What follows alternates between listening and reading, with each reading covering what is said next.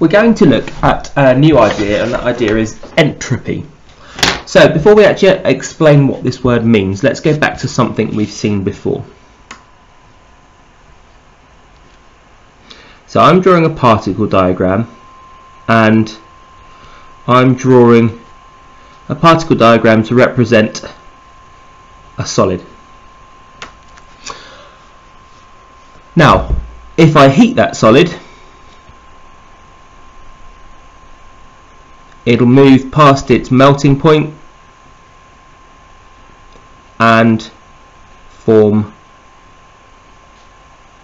a liquid. If I continue to heat that, it will move past its boiling point and form a gas. Now entropy describes how disordered each of these systems are. If we have a look at our solid, the solid is a very ordered, a very organized system. As we move through a liquid to a gas, it becomes more disordered. And entropy is the measure of disorder.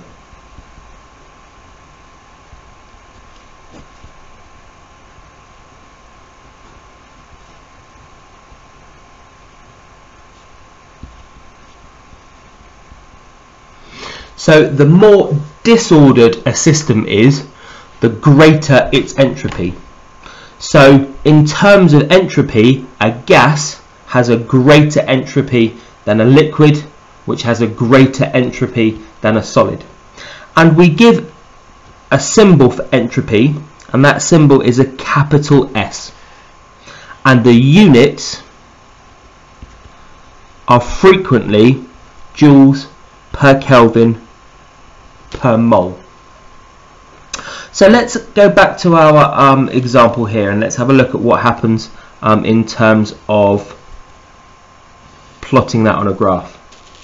So if we were to plot entropy um, against temperature on this graph, we would see a graph that looks like this.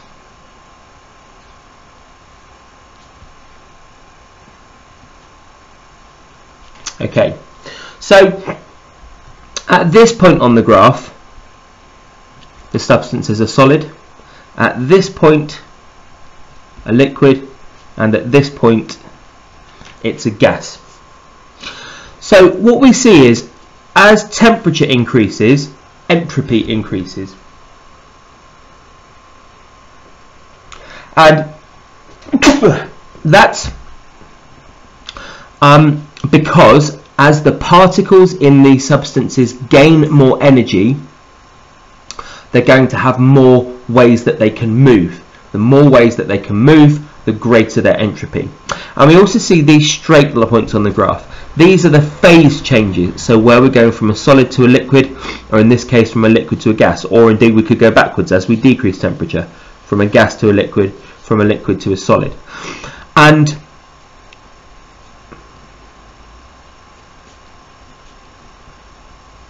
we notice that there is a large increase in entropy, a massive increase in entropy um, at the phase change. So the um, movement on the y-axis relative on here is very large compared to how it has been up to this point.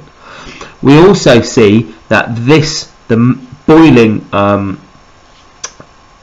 phase change, has a larger increase in entropy than the melting phase change.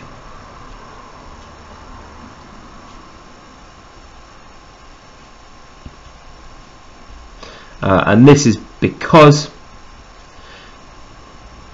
there is more disorder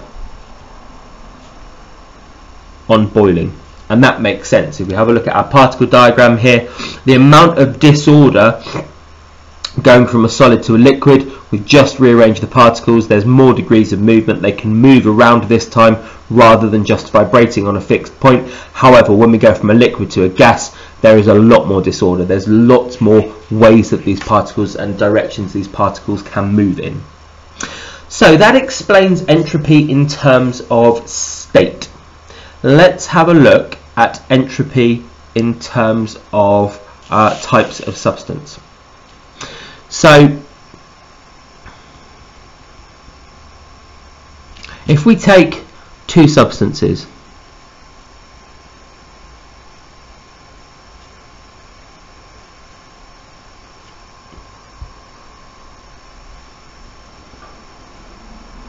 I'm sure you recognize this substance here.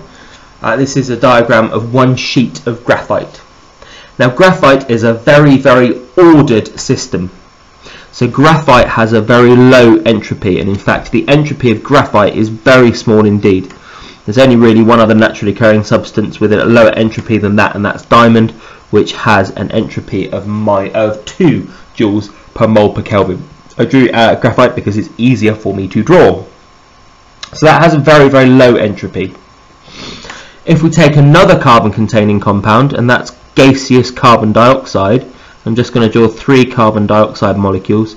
It's a gas, it contains more than one element, there's more vibration in the bonds than there are in graphite, so this has a high entropy, 214 joules per mole per Kelvin. So as substances at room temperature become gases, they're more likely to be uh, disordered. Um, we could also say that the um, larger the molecular mass, uh, the larger the entropy as well. If we have a look at some organic compounds, then um, the entropy for butane will be larger than the entropy for ethane because the molecular mass is increased and also because there are more bonds and, and more ways of rearranging. So if we also have a look about look at what happens during a chemical reaction.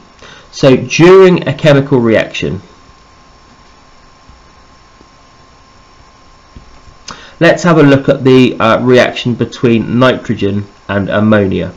The reaction between nitrogen and ammonia uh, is the basis of the Haber process and it sees one nitrogen molecule reacting with three hydrogen molecules. They're all in the gaseous state and it produces two of these molecules. So it produces two ammonia molecules. What's happened during this reaction is we have gone from four distinct gaseous species. So this word species here we use to describe the components in our reaction. Um, one nitrogen species, three hydrogen species. Um, in this case, they happen to all be molecules, but we use the word species because uh, species can describe atoms, molecules, ions, and so on. And if we have a look here, we see two species. So in this reaction, we would expect to see a decrease in entropy because we have gone from a greater number of species to a smaller number of species. So we've gone from a more disordered state to a less disordered state, or the order has increased, the disorder has decreased. So if we just review what we've looked at so far about explaining entropy, then we have got the idea that a gas has a greater disorder and therefore a greater entropy than a liquid than a solid. We know that very ordered substances like graphite, which have strong bonds and a very regular lattice structure, have very low entropies. We know that um, substances with a larger molecular mass have a greater disorder than substances with a lower one. And we know that the number of species in a reaction uh, explains whether or not a reaction has an increase or decrease in entropy. So let's look at how we would do uh, a couple of example calculations. The first thing we need to know is our equation.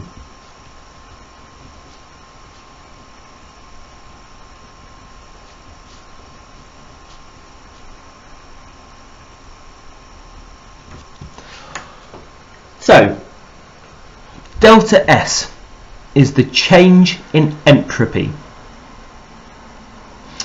And that is equal to the sum, I should have drawn this a little bit clearer for video, the sum of the entropy of the product minus the sum of the entropy of the reactants. Let's have a look at two real examples. So, this reaction represents the decomposition of calcium carbonate. If we heat calcium carbonate, we will um, produce calcium oxide and gaseous carbon dioxide. Now, before we do one of these calculations, it's worth us looking and seeing are we expecting to see an increase or a decrease in entropy? Two ways we can exp explain this. First of all, we've gone from one species to two species, so we're expecting probably to see an increase in entropy. And we've gone from a solid to a solid and a gas, and the fact that we've produced a gas means that we're expecting a large increase in entropy. Now, I'm going to write down what the entropy values are here. You would normally be given these in a table of data. So calcium carbonate has that entropy value.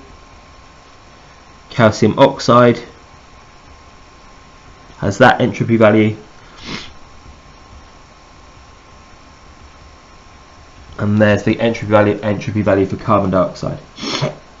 So if we look at our equation at the top, the entropy change of the products, the sum of the products, which is this and this,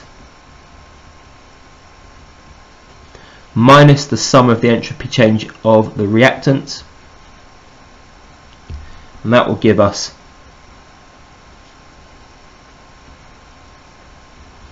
an entropy change of plus 161 joules per Kelvin per mole as we expected. We've gone from one species to two species, from a solid to a solid and a gas. So quite a significant change in entropy. Let's have a look at our second example. So this is the reaction of magnesium with two molecules of hydrochloric acid. I'm going to put the state symbols in as well. This one's a little bit harder to explain, um, to predict. We've gone from two, three species, one, two, three species to two species, so that would suggest it's a decrease in entropy, but we've gone from a solid and a, two aqueous uh, species to an aqueous and a gaseous species. However, this is quite a small um, uh, molecular mass gaseous species, so it's probably going to have a lower entropy than most gases would normally have. So let's find the um, so this time I'm just going to uh, say the entropy and give the units there. So I've divided this, this row by the entropy rather than writing the units every time. Well, we find that this has an entropy of 33. Remember, you're not expected to know these. You will normally be given these. I've just uh, taken these off a data sheet myself.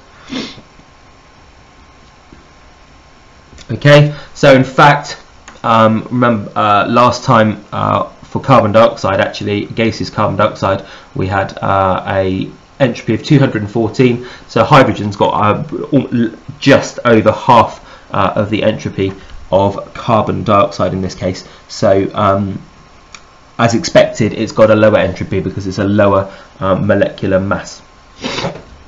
So let's plug it into our equation. Delta S is equal to the entropy change, sum of the entropy change of the product. Here are the products. minus the sum of the entropy change of the reactants.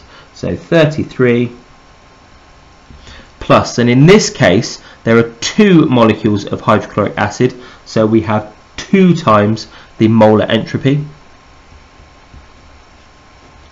And all of that comes out as minus 117 joules per Kelvin per mole.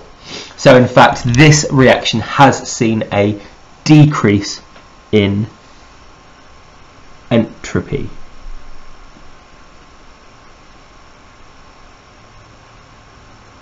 Okay. Thank you very much.